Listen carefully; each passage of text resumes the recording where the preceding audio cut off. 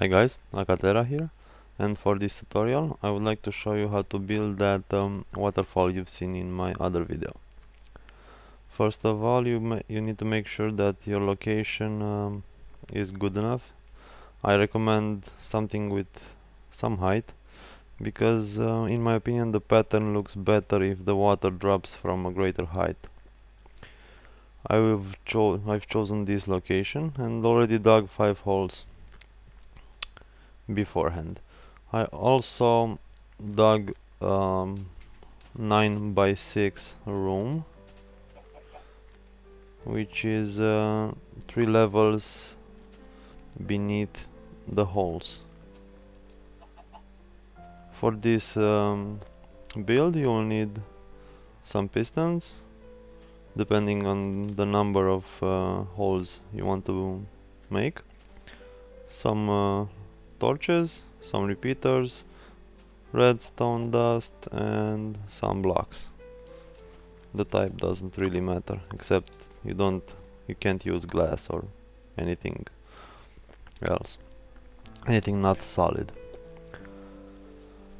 First of all you need to make you need to place a piston in line with each hole facing up. That's one, two, whoops. Three four and let's grab this one.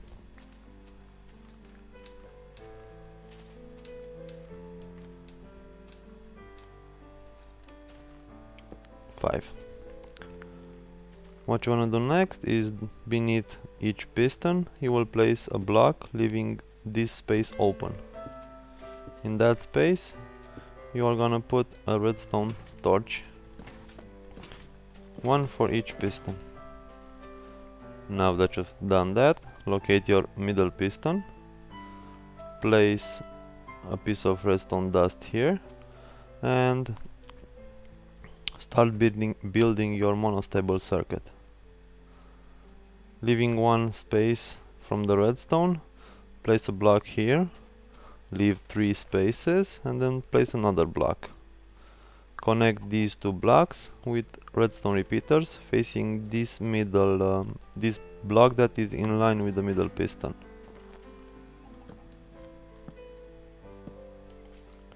Next up place a redstone uh, dust here. And while facing at its side place one block here one here and the final one here. Place a torch on top of this one and place a block on top of the torch. Fin finally place three redstone three pieces of redstone dust here and a torch here. This is your monostable circuit. I would dial um, these first two to 4 and this last one to 2 for a total of 10. This controls the length of the water that flows. Next up you want to build the clock that will uh, drive this mechanism. Place two pieces of redstone here going into this block. Then place one block next to the last one and three more blocks one block above that and diagonally. Beneath those two those three pla place three redstone repeaters.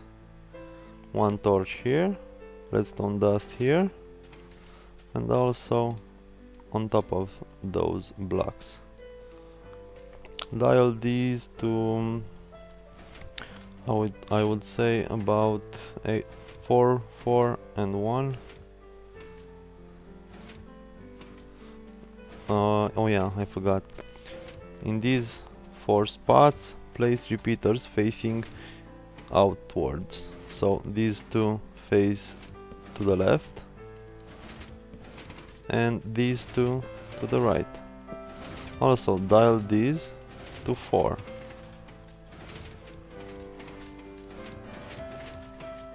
You can see the piston moving in that pattern.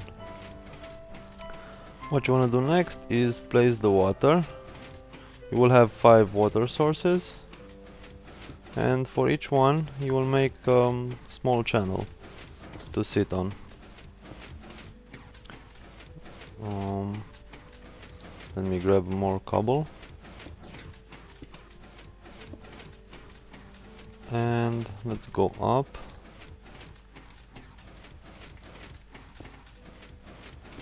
And start building and finalize building the canals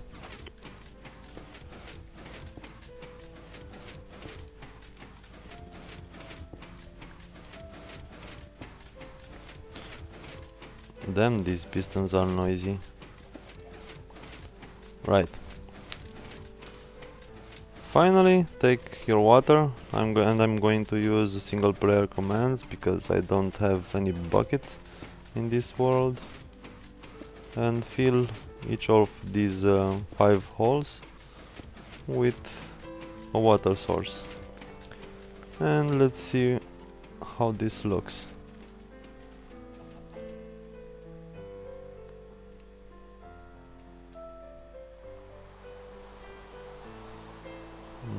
Let me turn off this rain.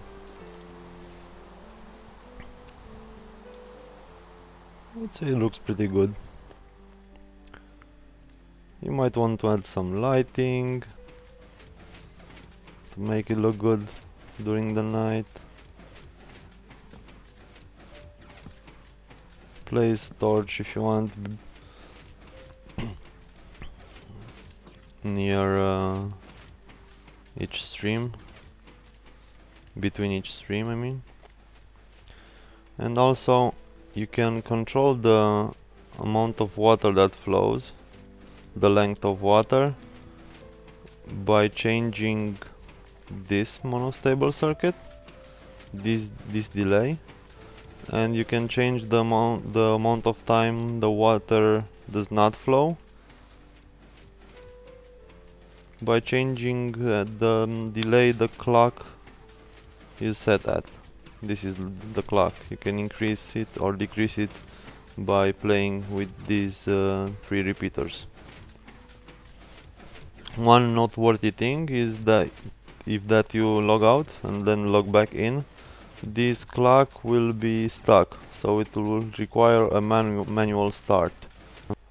For that, if this torch is stuck while lit, remove it and uh, replant it replace it actually. Or if this torch is stuck unlit remove this piece of redstone dust and replace it.